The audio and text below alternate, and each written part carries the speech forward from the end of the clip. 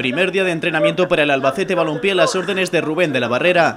El míster ha contado con 30 jugadores, con las ausencias notables de Jason Martínez y Enzo Boyomo, que todavía no se han incorporado a la plantilla.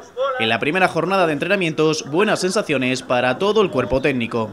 Bueno, nosotros lo que queremos pues es que tanto en la sesión de hoy como, como en la de mañana pues eh, exista una idea general acerca de lo que pretendemos ser ¿no? como equipo, más allá de los miles de matices que vamos a, a implementar pues, eh, durante el día a día, durante las semanas y evidentemente pues, cuando haya referencias ¿no? de, rivales más, más claras. Pero bueno, ya de entrada que se vea es un equipo activo, un equipo intenso, un equipo con ritmo, un equipo pues, que vaya construyendo su identidad desde el primer momento, un equipo dominador y a partir de ahí pues, ver cómo y de qué manera podemos ir encajando todas, la, todas las piezas que disponemos.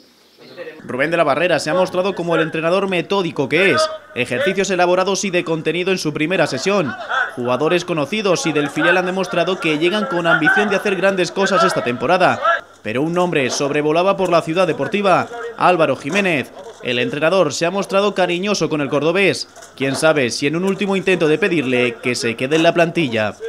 No, no es cuestión de convencer ni de no convencer. Álvaro ahora mismo pues es el jugador del, Albacete, ¿no? Yo como entrenador, lógicamente, pues encantado de que, de que él esté. Eh, si me preguntas a mí, pues eh, lógicamente te diré, ¿no? Y egoístamente hablando, pues que, que sea un jugador eh, de los nuestros, pues porque pues no, no, lo vamos a descubrir ahora, ¿no?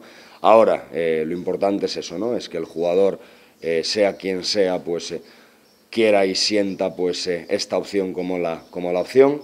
Primer día superado con éxito para el Albacete Balompié, que mañana volverá a vestirse de corto para seguir con la preparación del primer partido de pretemporada el 24 de julio en Almansa. Hasta entonces solo queda esperar cuál será el próximo movimiento del club en el mercado de fichajes.